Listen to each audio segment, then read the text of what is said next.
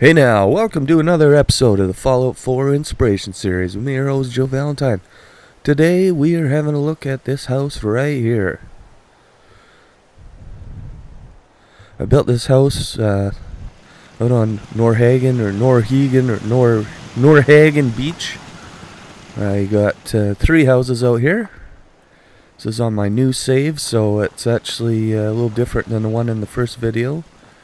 Um, there it is over there. It's a little hard to see. It's not quite rendered in. Uh, but first we're going to have a look at this house here. And uh, this house is simple, simple, simple. There's not much to it. It's just kind of a really impressive looking design. I really like it a lot. It's uh, pretty cool. They've got a pool out front. We got the chairs you can sit on, a little sitting area bar, nice view of the ocean, and uh, I got a door on this side. You can see I put a few picnic tables in and a waterfall and kind of a garden area. It's always nice to have something outside for a view, and uh, there's our other door, so I'll go right inside. And I just put some benches down and a few seats. It's kind of a little sitting area and uh, a few potted plants there. And uh, yeah, that's the stairwell. I really like how it turned out. It's really glass. Yeah, a computer and kind of like a 3D printer looking thing there. Um, really cool, really cool. The door opens and closes. And uh, you got I don't know, quite a bit to look at here. Um, bathroom downstairs. The really nice uh, bathtub. Sit in, I guess. It was a real pain in the ass to build that, but I built it. And over on this side, we got a sitting area. Got the kitchen. Got the kitchen table, the clock. Just not very big, but really cool layout. And everything's made of glass, so it probably gets warm in there, but that's okay. It's pretty cool looking place. So we got barbecue area outside here with a sitting uh, area and a hot tub. The hot tub's pretty cool. It's kind of a pain to build, but I got it. I think it turned out pretty decent. And yeah. So let's head upstairs and we can have a look and see what's going on up there. See the houses next door through the window.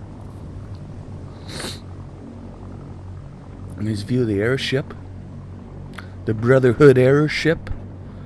And there it is. Look at upstairs. So we've got a pool on the second level here. It's a two-story pool, so it actually goes right down there, and you can see through the window which I really like this. Uh, it's got a diving board coming out of the bedroom. And, uh, yeah.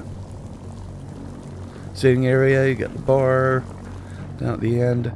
I want to put a little bit more stuff to this place, but uh, it's not that detailed. But I just kind of wanted to leave it fairly open so it, it showed better, you know. You can see the layout really well and not really that difficult to build. Um, if you guys wanted to build something similar.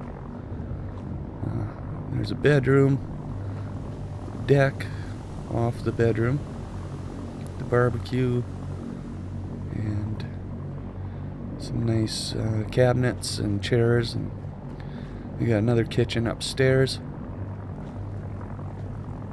So that's kind of cool. I like having more than one kitchen in a place. And really nice views out the windows. And there's the diving board right here. And you just jump right down and you're good to go. Right into the water.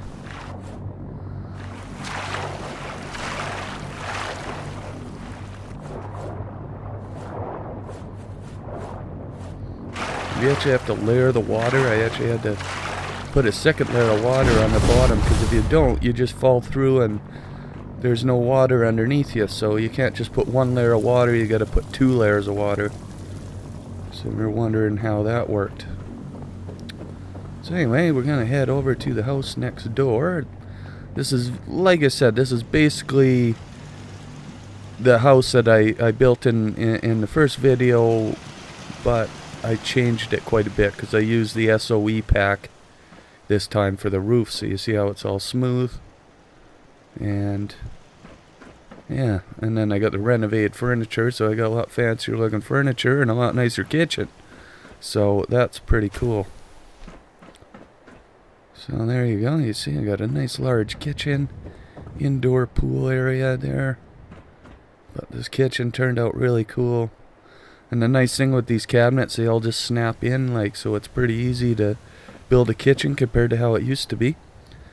And this pool is kind of more of a natural pool. It doesn't, have, you know, I just left uh, the ground underneath, but I like how it looks. It makes it look kind of green.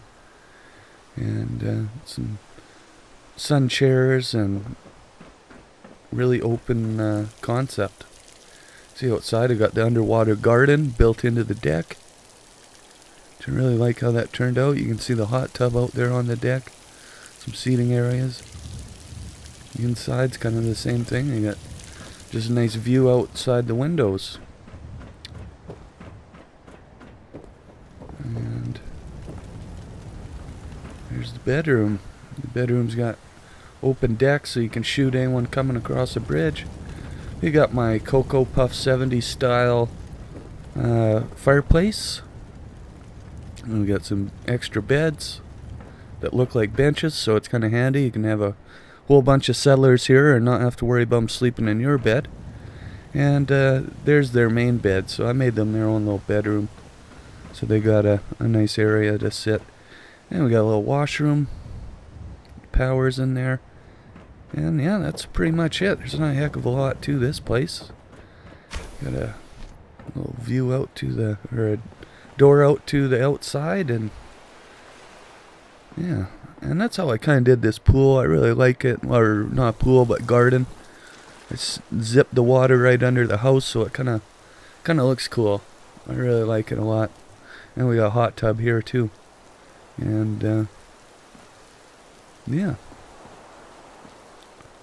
So I did build a house on the other side of the street, but I haven't furnished it yet, and I wouldn't quite say it's finished, so I'm going to have to do a video on it next time. There it is right over there. Pretty, but uh, next time. Anyway, I hope you guys enjoy the video, so give me a like and subscribe to my channel. Thank you.